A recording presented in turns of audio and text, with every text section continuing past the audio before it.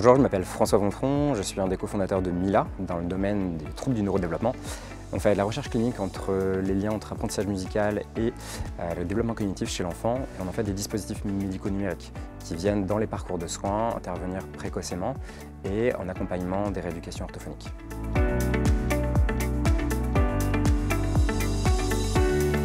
Un des sujets forts de la matinée, c'est tout le débat qu'on a eu sur la responsabilité des fabricants, notamment dans l'équité d'accès aux soins et la place de l'assurance maladie pour financer toutes ces innovations et assurer à chacun de pouvoir accès à la recherche scientifique qui se traduit en dispositifs médicaux concrètement sur le terrain.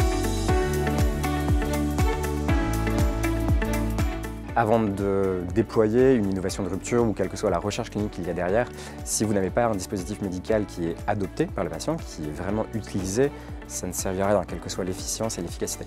Pour ça, le meilleur angle, c'est d'aller vers les associations de patients qui connaissent les besoins du terrain, qui sont représentatives de tous ces patients, de milliers de familles et qui ont l'historique. C'est absolument essentiel pour vraiment faire en sorte que vous ayez un impact concret sur le terrain et dans les parcours de soins.